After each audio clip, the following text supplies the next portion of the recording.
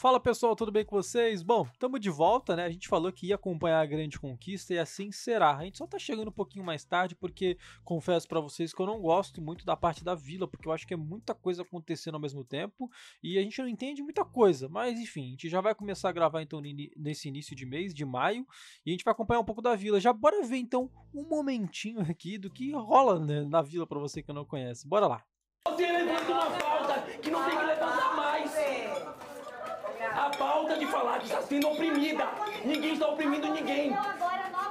Mas você levantou de novo uma pauta que não existia agora. defendeu, teve coragem de defender. Para, garota. Foi todo mundo em Para, cima. menos. Você Bom, isso aí é uma treta que tá acontecendo após ter tido outra treta da, da, da funkeira lá, da, de uma MC, que supostamente escondeu o limão. E aí, cara, isso aí levantou muitas tretas na sequência, porque é assim que rola lá na vila, né, da Grande Conquista. Pra você que não conhece o reality, basicamente tem três vilas, né, aonde é dividido ali 100 pessoas. Então, assim, vai é, 30 pra uma, mais 30 pra outra, sei lá, vai, vai, vai dividindo lá.